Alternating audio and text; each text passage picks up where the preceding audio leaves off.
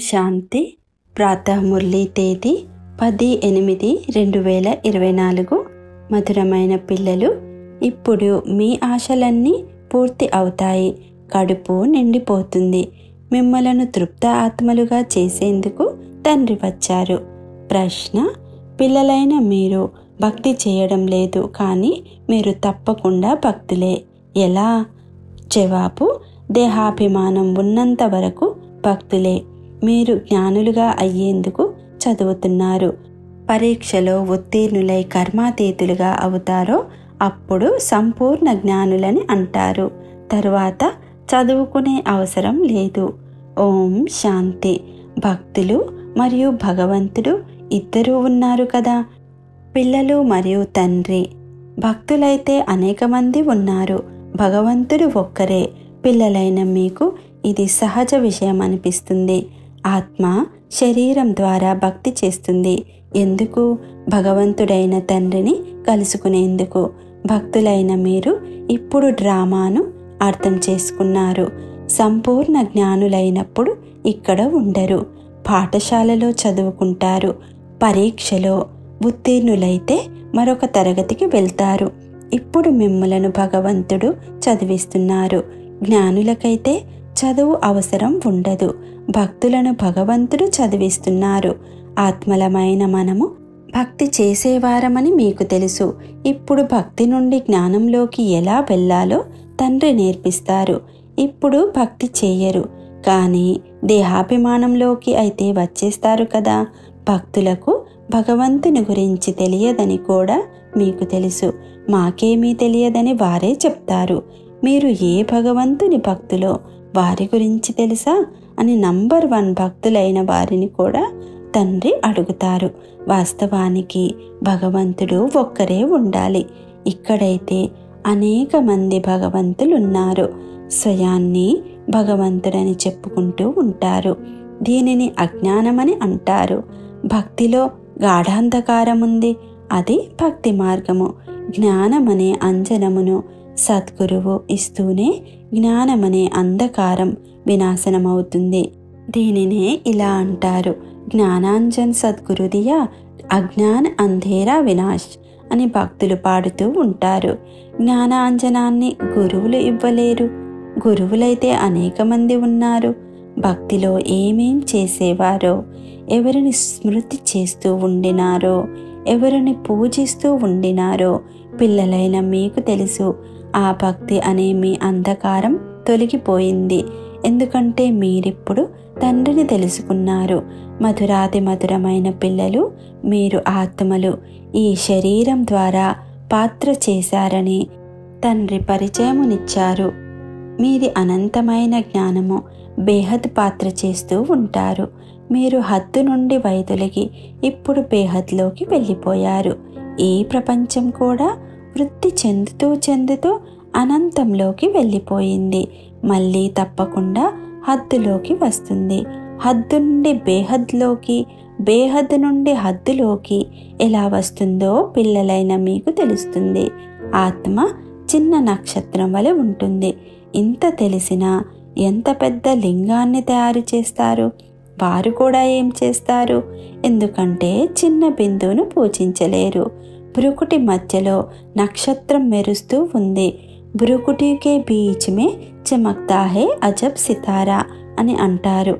ఇప్పుడు ఈ నక్షత్రాలను భక్తి ఎలా చేస్తారు? భగవంతుని గురించి అయితే ఎవరికీ తెలియదు. ఆత్మను గురించి తెలుసు. ఆత్మ బ్రుకుటి మధ్యలో ఉంటుందని మాత్రమే తెలుసు. ఆత్మే శరీరాన్ని తీసుకొని పాత్ర చేస్తుందని బుద్ధిలోకి రాదు. మొట్టమొదట మీరే పూజ చేసేవారు.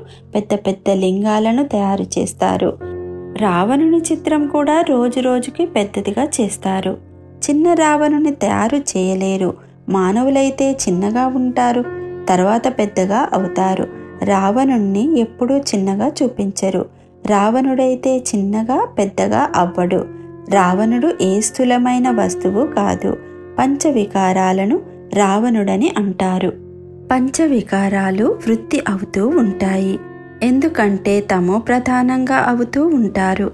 ఇంతకుముందు దేహాభిమానం ఇంతగా లేదు. తర్వాత పెరుగుతూ వచ్చింది. ఒకరికి పూజ చేశారు తర్వాత మరొకరికి పూజ చేశారు. ఈ విధంగా వృద్ధి చెందుతూ వచ్చింది. ఆత్మ తమో ప్రధానంగా అయ్యింది. సతో ప్రధానంగా ఎప్పుడు అవుతారు? తర్వాత మళ్ళీ తమో ప్రధానంగా ఎప్పుడు అవుతారు? అనే విషయాలు ఈ ప్రపంచంలోని మానవులెవ్వరి బుద్ధిలోనూ ఉండవు. ఈ విషయాల గురించి మానవులెవ్వరికీ తెలియదు. జ్ఞానమేమీ కష్టం కాదు. తండ్రి వచ్చి చాలా సహజంగా జ్ఞానం వినిపిస్తారు చదివిస్తారు. అయినా చదువు అంతటి సారం ఏమిటంటే ఆత్మలమైన మనమంతా తండ్రికి పిల్లలము తండ్రిని స్మృతి చేయాలి. కోటికొక్కరే కోటొమ్మే కోయి అని కూడా గాయనం ఉంది. బాబా పిల్లలుగా కొద్దిమందే వెలువడతారు. కోటిలో కొంతమంది మాత్రమే యథార్థంగా తెలుసుకుంటారు. ఎవరిని? తండ్రిని. ఏ తండ్రి అయినా ఇలా ఉంటారా అని అడుగుతారు. తమ తండ్రి గురించి అయితే అందరికీ తెలుసు. ఈ తండ్రిని ఎందుకు మర్చిపోయారు? దీని పేరే మరచి మరపించే ఆట. బూల్బులయ్య ఆట బయటికి వచ్చే దారి తెలియని ఆట అని అంటారు. ఒకరు హద్దులోని తండ్రి మరొకరు బేహద్దు తండ్రి. ఇద్దరు తండ్రుల ద్వారా వారసత్వం లభిస్తుంది. హద్దు తండ్రి ద్వారా వారసత్వం కొద్దిగా లభిస్తుంది. రోజు రోజుకు పూర్తిగా తగ్గిపోతూ ఉంటుంది. కొద్దిగా కూడా లేని విధంగా అయిపోతుంది. బేహద్ తండ్రి రానంత వరకు కడుపు కూడా నిండదు. కడుపు పూర్తిగా ఖాళీ అయిపోతుంది. తండ్రి వచ్చి కడుపు నింపుతారు. ఏ వస్తువులు మొదలైనవి ఏవి అవసరం లేనంతగా పిల్లలైన మీ కడుపు నింపుతారు అంటే తృప్తిపరుస్తారు. ఆశలన్నీ పూర్తి చేసేస్తారు. తృప్త ఆత్మగా అయిపోతుంది. బ్రాహ్మణులకు తినిపిస్తే ఆత్మ తృప్తి పడుతుంది కదా సంవత్సరీకం చేసినప్పుడు. ఇది అసంతృప్తమైన తృప్తి. ఎంత తేడా ఉందో చూడండి. ఆత్మకు కలిగే హద్దు తృప్తికి బేహద్దు తృప్తికి ఎంత తేడా ఉందో చూడండి. తండ్రిని తెలుసుకోగానే తృప్తి చెందుతుంది. ఎందుకంటే తండ్రి స్వర్గానికి అధికారులుగా చేస్తారు. మనం బేహద్దు తండ్రి పిల్లలమని మీకు తెలుసు. తండ్రిని అందరూ స్మృతి చేస్తారు కదా. ఇది మామూలే. మేము బ్రహ్మములో లీనమవుతామని కొందరు అంటారు. బ్రహ్మంలో ఎవ్వరూ లీనమవ్వరని తండ్రి చెప్తున్నారు. ఇది అనాది డ్రామా తిరుగుతూనే ఉంటుంది. ఇందులో తికమకపడే అవసరమే లేదు. నాలుగు యుగాల చక్రం తిరుగుతూనే ఉంటుంది. ఉన్నది ఉన్నట్లు పునరావృతమవుతూ ఉంటుంది. తండ్రి ఒక్కరే ప్రపంచం కూడా ఒక్కటే. వారెంతగానో తల కొట్టుకుంటారు. చంద్రునిలో కూడా ప్రపంచముందని నక్షత్రాలలో కూడా ప్రపంచముందని అనుకుంటారు. ఎంతగానో వెతుకుతారు. చంద్రునిలో కూడా ప్లాట్ తీసుకోవాలని అనుకుంటారు. అది ఎలా వీలవుతుంది? ధనం ఎవరికి ఇస్తారు? దీనిని విజ్ఞాన గర్వం అని అంటారు. అంతకన్నా మరేమీ లేదు. ప్రయత్నిస్తూనే ఉంటారు. ఇది మాయ ఆడంబరం కదా. స్వర్గం కంటే ఎక్కువ షో చేసి చూపిస్తారు. స్వర్గమునైతే పూర్తిగా మర్చిపోయారు. స్వర్గంలో చాలా ధనం ఉండేది ఒక్క సోమనాథ మందిరం నుండే ఎంత ధనం తీసుకుపోయారో చూడండి. భారతదేశంలోనే ఇంత ధనం ఉండేది. ఖజానాలన్నీ సంపన్నంగా ఉండేవి. మహమ్మద్ గజనీ వచ్చి లూటీ చేసి తీసుకువెళ్ళిపోయాడు. అర్ధకల్పం వరకు మీరు సమర్థులుగా ఉంటారు. దొంగతనం మొదలైన వాటి పేరు కూడా ఉండదు. రావణ రాజ్యమే లేదు. రావణ రాజ్యము మొదలైనప్పటి నుండి దొంగతనాలు దోపిడీలు జగడాలు మొదలైనవన్నీ ప్రారంభమయ్యాయి. రావణుని పేరు వాడుతూ ఉంటారు. అంతేకాని రావణుడనే వ్యక్తి ఎవరూ లేరు. వికారాలు ప్రవేశించాయి. మానవులు రావణుని గురించి ఏమేం చేస్తారు? ఎంతగానో జరుపుకుంటారు. మీరు కూడా దసరాను జరుపుకునేవారు. రావణుణ్ణి ఎలా తగులు పెడతారో చూసేందుకు వెళ్ళేవారు. తర్వాత బంగారును లూటీ చేసేందుకు వెళ్తారు. అక్కడ ఏముంది? ఇప్పుడు ఎంత ఆశ్చర్యమేస్తుంది. ఎలా తయారై ఉండినారు. ఎన్ని పూజలు మొదలైనవి చేసేవారు. ఏవైనా గొప్ప రోజులు వస్తే ఏమేం చేస్తూ ఉంటారు? భక్తి మార్గపు బొమ్మల ఆటల వలె ఉంది. అది కూడా ఎంత సమయం నడుస్తుందో మీకు తెలుసు. ప్రారంభంలో ఇంత భక్తి చేసేవారు కాదు. తర్వాత వృత్తి చెందుతూ చెందుతూ ఇప్పుడు ఎలాంటి పరిస్థితి అయ్యిందో చూడండి. ఎంతో ఖర్చు చేసి చిత్రాలు లేక మందిరాలు మొదలైనవి ఎందుకు తయారు చేస్తారు? ఇదంతా వృధా ఖర్చు. మందిరాలు మొదలైనవి తయారు చేసేందుకు లక్షల రూపాయల ఖర్చు చేస్తారు. తండ్రి ఎంత ప్రేమగా కూర్చొని అర్థం చేయిస్తారు? నేను మీకు లెక్కలేనంత ధనాన్ని ఇచ్చాను. అదంతా ఎక్కడ పోగొట్టుకున్నారు? ఎలా ఉన్నవారు రావణ రాజ్యంలోకి వచ్చిన తర్వాత ఎలా తయారయ్యారు? ఇదేమీ ఈశ్వరేచ్ఛ అని రాజీ పడరాదు. ఇది ఈశ్వరుని భావి కాదు మాయ యొక్క భావి. మీకిప్పుడు ఈశ్వరీయ రాజ్య భాగ్యం లభిస్తుంది. అక్కడైతే దుఃఖం అనే మాటే ఉండదు. ఈశ్వరీయ ప్రాలబ్ధము మరియు ఆసురీ ప్రాలబ్ధముకు ఎంత తేడా ఉంది? ఇదంతా మీకిప్పుడు అర్థమవుతుంది. అది కూడా నంబర్ వార్ పురుషార్థానుసారంగా. జ్ఞాన ఇంజెక్షన్ ఎవరికి పడుతుందో మీరు అర్థం చేసుకోగలరు. ఫలానా వారికి జ్ఞాన ఇంజెక్షన్ బాగా పడింది ఫలానా వారికి తక్కువ పడింది. కొందరికి పూర్తిగా పడనే లేదు. ఇవన్నీ తండ్రికే తెలుసు. ఆధారమంతా సర్వీస్ పైనే ఉంది. వీరికి ఇంజెక్షన్ పడలేదని వీరికి సర్వీస్ చేయడమే తెలియదని సర్వీసు ద్వారానే తండ్రి చెప్తారు. కొందరికి ఎక్కువ ఇంజెక్షన్ పడుతుంది కొందరికి పూర్తిగా పడదు. ఇలా కూడా ఉంటుంది. అజ్ఞానమనే అంధకారాన్ని వినాశనం చేసి జ్ఞానమనే అంజనం సద్గురువు ఇచ్చారని అంటారు. జ్ఞానసాగరులు సుఖసాగరులు పరమపిత పరమాత్మయే. అటువంటి వారిని రాళ్ళు రప్పలలో పడేశారు.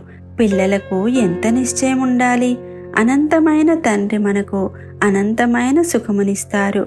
బేహద్ బాబా మీరు వస్తే మేము మీ వారిగానే అవుతామని మీ మతానుసారమే నడుచుకుంటామని పాడతారు. భక్తిలో అయితే తండ్రిని గురించే తెలియదు. ఈ పాత్ర ఇప్పుడే నడుస్తుంది. తండ్రి ఇప్పుడే చదివిస్తారు. ఇలా చదువుకునే పాత్ర మళ్ళీ ఐదు వేల సంవత్సరాల తర్వాత నడుస్తుందని మీకు తెలుసు. తండ్రి మళ్ళీ ఐదు వేల సంవత్సరాల తరువాత వస్తారు. ఆత్మలందరూ పరస్పరంలో సోదరులు. భాయి భాయి.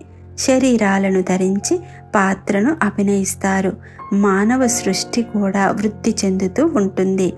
ఆత్మల స్టాక్ కూడా ఉంది కదా. చివరకు ఇక్కడ ఎంతమంది మనుషులుంటారో అక్కడ కూడా ఆత్మల స్టాక్ అంతే ఉంటుంది. ఒక్క పాత్రధారి కూడా ఎక్కువ తక్కువగా ఉండరు. వీరంతా బేహద్ పాత్రధారులు.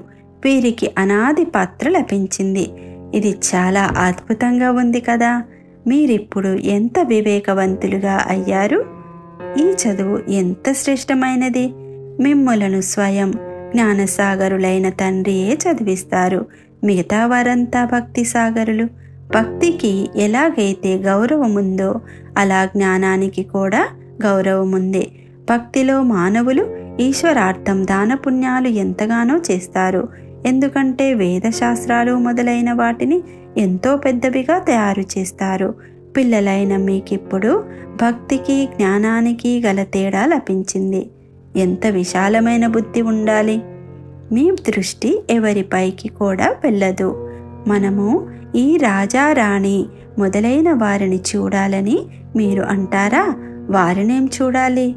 మనసులో ఏ ఆశ ఉండదు. ఇదంతా సమాప్తమవ్వనున్నది.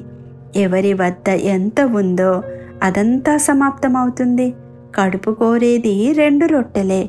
కానీ దాని కొరకు ఎంత పాపం చేస్తారు?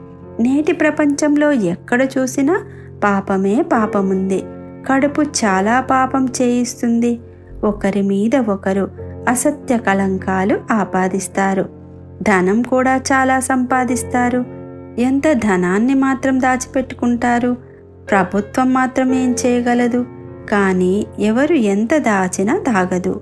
ఇప్పుడైతే ఇంకా ప్రాకృతిక ప్రకోపాలు కూడా రానున్నవి. ఇక కొద్ది సమయం మాత్రమే మిగిలి ఉంది. బాబా చెప్తున్నారు శరీర నిర్వహణ కొరకు ఏం చేసినా వద్దనరు. పిల్లలకు ఖుషి పాదరస మీటర్ పెరిగి ఉండాలి. తండ్రి మరియు వారసత్వం గుర్తుండాలి. తండ్రి అయితే మిమ్ములను విశ్వమంతటికి అధిపతులుగా చేస్తారు. భూమి ఆకాశం అన్నీ మనవిగా అయిపోతాయి. ఎలాంటి హద్దులు ఉండవు. మనమే అధికారులుగా ఉండేవారమని పిల్లలకు తెలుసు. భారతదేశం అవినాశీ ఖండంగా పేరు పొందింది. కావున పిల్లలైన మీరు చాలా సంతోషంగా ఉండాలి. హద్దు చదువు ద్వారా కూడా సంతోషం ఉంటుంది కదా? ఇది బేహద్ చదువు. బేహద్ తండ్రి చదివిస్తారు. ఇలాంటి తండ్రిని స్మృతి చేయాలి. ఆ దైహిక వ్యాపారాలు మొదలైన వాటిలో ఏముంది? ఏమీ లేదు. మనము తండ్రి ద్వారా ఎలాంటి వారసత్వం తీసుకుంటున్నామో పిల్లలు గ్రహించాలి. రాత్రికి పగలకు ఉన్నంత తేడా ఉంది. మనము దైహిక వృత్తి వ్యాపారాలు చేస్తూ కూడా కిరీటధారులుగా అవుతాము. చదివించేందుకు తండ్రే వస్తే పిల్లలకు ఎంత సంతోషం ఉండాలి? ఆ పని పాటలు కూడా చేస్తూ ఉండాలి. ఈ పాత ప్రపంచం వినాశనమయ్యేందుకు అన్ని ఏర్పాట్లు జరుగుతున్నాయని మీకు తెలుసు. ఎక్కడ పెద్ద యుద్ధం జరుగుతుందోనని భయం కలిగించే విధంగా సంఘటనలు జరుగుతూ ఉంటాయి. ఇవన్నీ డ్రామానుసారం జరగాల్సిందే. అంతేగాని ఇవన్నీ ఈశ్వరుడు చేయిస్తాడని కాదు. ఈరోజు కాకపోతే రేపు తప్పకుండా వినాశనమవుతుంది. ఇప్పుడు మీరు చదువుకుంటున్నారు. మీ కొరకు తప్పకుండా నూతన ప్రపంచం కావాలి. ఈ విషయాలన్నీ మనసులో స్మరణ చేసుకుంటూ సంతోషంగా ఉండాలి. బాబా ఈ రథమును కూడా తీసుకున్నారు. వీరికి ఏమీ లేదు. అంతా వదిలేశారు. బేహద్ చక్రవర్తి పదవి లభిస్తూ ఉంటే ఇది ఏం చేస్తారు? ఆత్మకు అల్లా లభిస్తే ఈ పనికిరాని దానిని ఏం చేస్తారు? ఒకేసారి అంతా ఇచ్చి సమాప్తం చేసేశాము. శరీరాన్ని కూడా బాబాకు ఇచ్చేశాము. ఓహో మనం విశ్వానికి అధికారులుగా అవుతాము. అనేక సార్లు అధికారులుగా అయ్యాము. ఎంత సహజం? మీరు భలే మీ ఇంట్లో ఉండండి. స్వయాన్ని ఆత్మగా భావించి తండ్రిని స్మృతి చేయండి. అచ్చా! మధురాతి మధురమైన అపురూపమైన పిల్లలకు మాతపిత బాపుదాదాల ప్రియ స్మృతులు మరియు గుడ్ మార్నింగ్ ఆత్మిక పిల్లలకు ఆత్మిక తండ్రి నమస్తే. ధారణ కొరకు ముఖ్య సారము. ఏ విషయంలోనూ కళ్ళు చంచలం కాని విధంగా తృప్తిగా విశాల బుద్ధి కలవారిగా అవ్వాలి. మనసులో ఏ ఆశ ఉండరాదు. ఎందుకంటే ఇవన్నీ వినాశనం కానున్నవి. రెండవది శరీర నిర్వహణార్థం. కర్మ చేస్తూ ఖుషి పాదరస మీటర్ సదా పైకెక్కి ఉండాలి. తండ్రి మరియు వారసత్వం గుర్తుండాలి. బుద్ధిని హద్దు నుండి తొలగించి సదా బేహద్లో ఉండాలి. వరదానము తీవ్ర పురుషార్థం ద్వారా అన్ని బంధనాలను దాటుకుని మనోరంజనాన్ని అనుభవం చేసే డబల్ లైట్ భవ. చాలామంది పిల్లలు నేనైతే బాగున్నాను కానీ సంస్కారాల యొక్క వ్యక్తుల యొక్క వాయుమండలం యొక్క బంధనముంది అని అంటారు. కానీ కారణమేదైనా ఎలాంటిదైనా తీవ్ర పురుషార్థులు అన్ని విషయాలను అసలేమీ లేదు అన్నట్లు దాచుకుంటారు. వారు సదా మనోరంజనాన్ని అనుభవం చేస్తారు. ఇటువంటి స్థితిని ఎగిరేకళ అని అంటారు. ఎగిరేకళకు గుర్తు డబల్ లైట్గా ఉండడం. వారిని ఎటువంటి బరువైన అలజడిలోకి తీసుకురాలేదు. స్లోగన్ ప్రతి గుణాన్ని లేక జ్ఞాన విషయాన్ని మీ నిజ సంస్కారంగా చేసుకోండి. ఓం శాంతి.